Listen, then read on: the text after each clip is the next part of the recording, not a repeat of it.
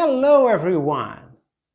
As a verb, like means to find something pleasant or to consider something enjoyable. I like you. Mary likes swimming.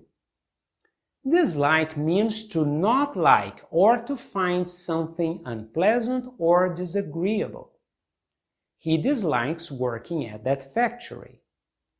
I disliked her from the moment we met.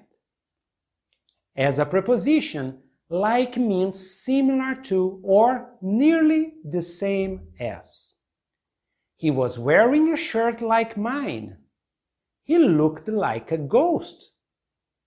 For the opposite of the preposition like, we use unlike, which means not like or not similar to.